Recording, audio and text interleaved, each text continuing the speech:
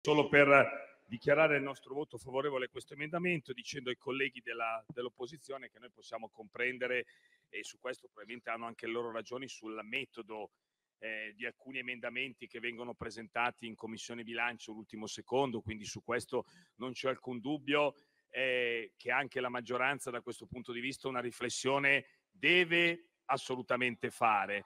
Però l'invito, l'invito però che faccio è che tutto questo entusiasmo e questa visibilità che date alla, al senatore Lotito rischia di diventare per lui un motivo di vanto. Quindi anziché fare opposizione rischiate di fargli un favore se continuate a dire che lui può quello che tanti altri non possono. Eh. Quindi eh, l'invito che faccio è usate con attenzione il vostro metodo di fare l'opposizione.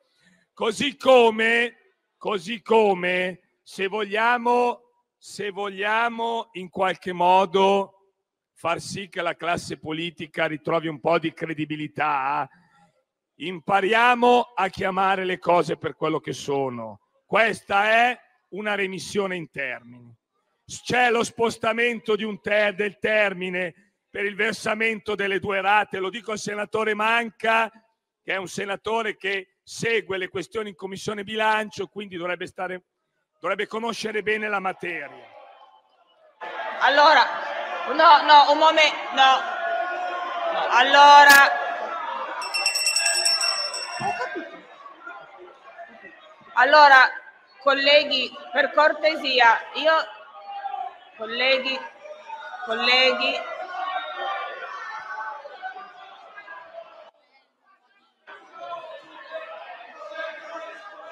Colleghi, si stava svolgendo... No, no, no, no, no, no. Sospendo. Allora, sospendo la seduta per 5 minuti. Sospendo la seduta per 5 minuti. Adesso è colpa mia. Cosa vuoi tu? Oh.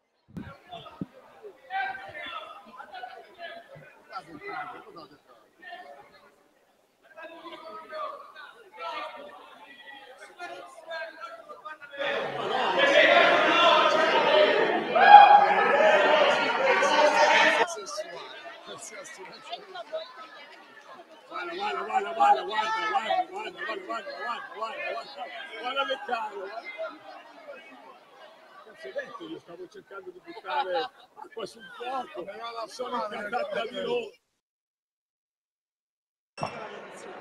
Allora, colleghi, vi invito a prendere posto. Intanto la sospensione è stata utile ad avere un chiarimento, comunque la Presidenza naturalmente raccoglie, raccoglie come raccoglierà e come ha fatto sempre diciamo così, le informazioni più dettagliate su quanto è avvenuto in aula. Io ero intenta ad ascoltare l'intervento del Presidente Romeo e obiettivamente non, non era arrivato a questa Presidenza, a tutti quelli che sono a questo banco insieme a me, eh, come dire, sentore. Comunque, come sempre, le segnalazioni vengono raccolte. Sapete che questa Presidenza è sempre molto attenta, diciamo, al linguaggio. Ora, ora se, sempre, sempre molto attenta. Ora, Presidente Romeo, se non ricordo male, lei stava terminando. Tra l'altro era un intervento è un intervento per cercare di far sorridere un po' l'aula. Beh, infatti, un effetto, direi, infatti, infatti io ero molto, ero sono, molto attenta alle sue parole, devo, sono, sono colpevolmente quasi, attenta alle sue parole.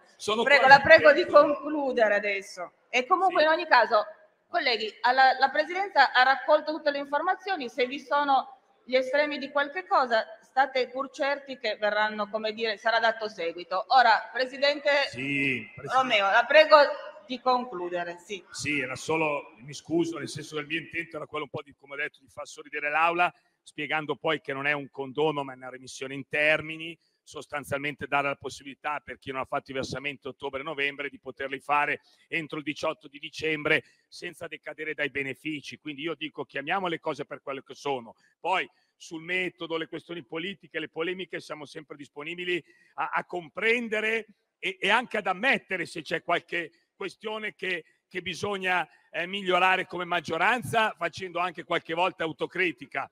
Insomma, evitiamo poi che venga fuori anche una, una, una lotta nell'aula, perché insomma l'intento era assolutamente un altro. Però chiamiamo le cose col loro nome.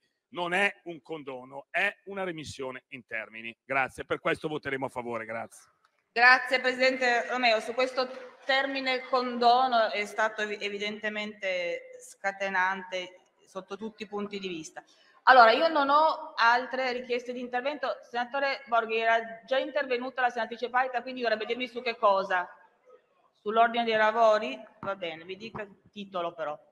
Sull'ordine dei lavori? Sì. Bene. No, eh, Presidente, io credo che non si possa passare sotto silenzio quello che è accaduto.